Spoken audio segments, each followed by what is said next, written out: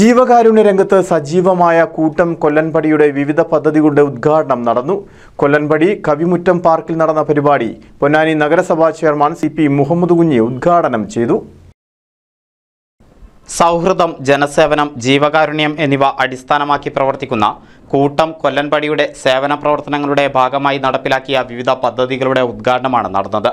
Kollanpadi government homeo ഡിസ്പെൻസറിയിലേക്ക് നൽകിയ കുടിവെള്ള filter Kavimuttam പാർക്കിൽ കുടിനീർക്കൂടം സ്ഥാപിക്കൽ കൊല്ലൻപടിയിലെ മൂന്ന് റോഡുകളിലും സൈൻ ബോർഡ് ഡയാലിസിസ് സെന്ററിലേക്കുള്ള ഫണ്ട് കൈമാറ്റം എന്നിവയാണ് നടന്നത്.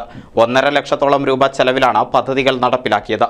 പദ്ധതിയുടെ ഉദ്ഘാടനം പൊന്നാനി നഗരസഭാ ചെയർമാൻ സി മുഹമ്മദ് കുഞ്ഞി നിർവഹിച്ചു.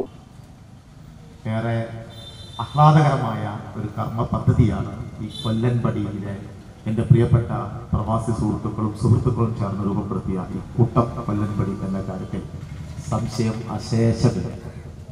കാരണം അവർ കഴിഞ്ഞ ഏതാനും വർഷങ്ങളായി നാട്ടിലെ കൂട്ടായ്മയുടെ ശാക്തീകരണം നടത്തുകയാണ്. അല്ലെങ്കിൽ കൂട്ടായ്മയുടെ കരുത്ത് വർദ്ധിപ്പിച്ചുകൊണ്ടിരിക്കുകയാണ്. സൗഹൃദത്തിന്റെ ഏതൊക്കെ മേഖലകളിൽ സൗഹൃദം പരസ്പരം പങ്കിടാം എന്നതിനെ കുറിച്ച് ഈ ഒരു കൂട്ടം ചെറുപ്പക്കാർ നമുക്കെല്ലാവർക്കും മാതൃകാപരമായി പ്രവർത്തിക്കുകയാണ്.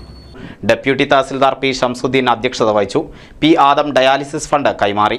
എം വി എ ബക്കർ പ്രദീപമുള്ളത്ത് ജ്യോതിഷ് സ്റ്റാൻഡിംഗ് കമ്മിറ്റി ചെയർപേഴ്സൺമാരായ ഷീന സുദേശൻ റീന പ്രകാശൻ കൗൺസിലർമാരായ ബീന സന്തോഷ് മഞ്ചേരി ഇക്ബാൽ സെക്രട്ടറി അബ്ദുൽ സത്താർ ബഷീർ അറയിൽ എന്നിവർ സംസാരിച്ചു. N news Ponnani.